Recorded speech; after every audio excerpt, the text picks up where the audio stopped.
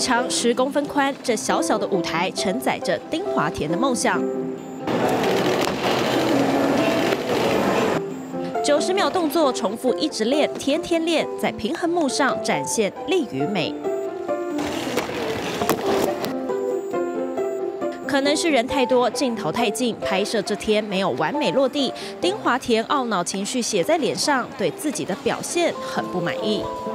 看到这么多人来，可以说有兴奋，有点紧张。我觉得是连接，就是很一个很吃节奏的一种动作的形式。单动作可以做好，但是连接的时候就很需要训练那个节奏，还有流畅性。二度登上奥运舞台，有别于第一次十八岁的青涩，这次清楚自我水平，提升难度分。一样设定先就是。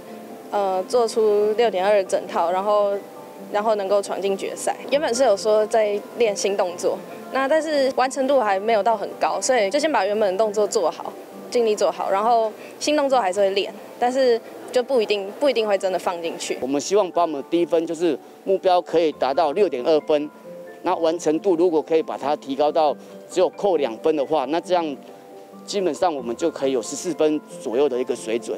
那我觉得这个分数的话是非常有竞争力的。虽然是靠递补取得参赛资格，但天助也是实力的一部分。丁华田调整好状态，说一切辛苦都值得。其实我在当下的时候，并不是想说我要去我要去创纪录还是怎么样，就是想要呃平常把平常练习的东西发挥出来，然后在赛场上面表现出最好的自己，享受比赛，全力以赴。就是我最大的目标，这次比奥运会。我不管成绩怎么样，那我是希望说我们在那天比赛的时候，那我们全台湾的所有人会觉得说，哦，今天有丁华天比赛，很有机会。看着爱徒成长茁壮，教练感动在心里。上一届冬奥无缘晋级，却已经写下台湾魁违五十三年再有女子体操选手闯进奥运纪录。